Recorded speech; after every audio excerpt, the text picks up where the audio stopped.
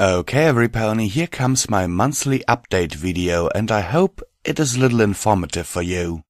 First of all, I want to thank the three people who supported me on Patreon. Luis Lopez, Xerxes, and Simon Perak. Really? Thank you. Every cent is appreciated. For those of you who didn't know, you can support me through Patreon on www.patreon.com slash visualpony. Okay, now for the updates. As you might have seen, I have released the next chapter of Fallout Equestria Starlight. Yeah, uh, I hope to be back in business right now, even though my laptop is finally completely dead. It doesn't do anything anymore if I press a power button, so I have to use my backup netbook for anything right now. Part 1 of chapter 21 is already released. Part 2 will come out tomorrow. Chapter 22 is already completely recorded and just has to be edited now, which will take a few hours.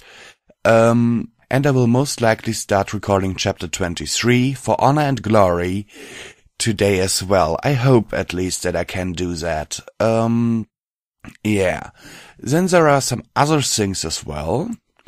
For example, you can always visit my Twitter. I have recently been quite active on uh, on Twitter, and you can find updates there, like well, the status of a recording, uh, what I'm doing right now, things like that, and you can communicate through Twitter with me.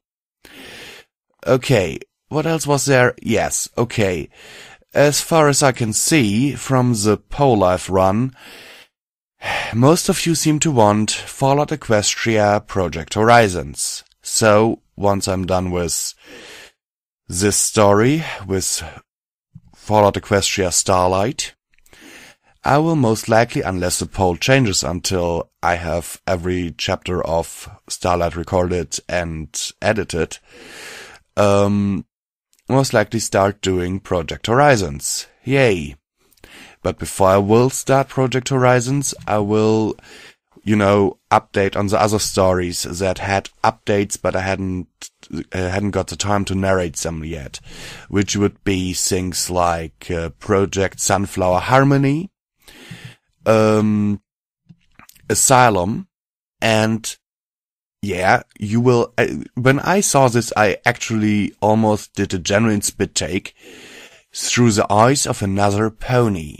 Yes, it has actually been updated on FimFiction. And these three had updates during my forced hiatus here. And once I'm done with Starlight, I will update these three on my channel. Okay, sincerely yours Visual Pony, and stay brony, my friends.